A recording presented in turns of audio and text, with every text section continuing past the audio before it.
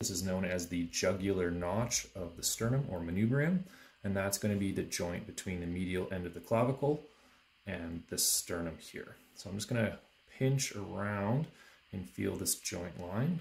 So right along here, this joint is called the sternoclavicular joint.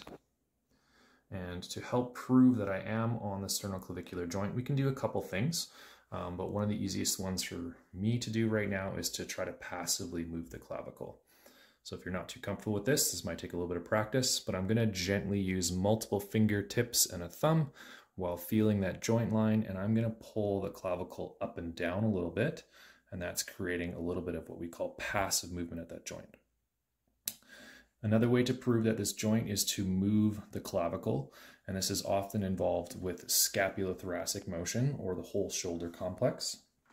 So as I elevate or passively depress, that clavicle is moving up and down. So I'm gonna go and put my fingertips back on that joint space and with my other hand on her elbow right now, I'm just passively lifting up that shoulder and I can feel the end of the clavicle moving back and forth. So that's a good way to help prove that you're on this sternoclavicular joint.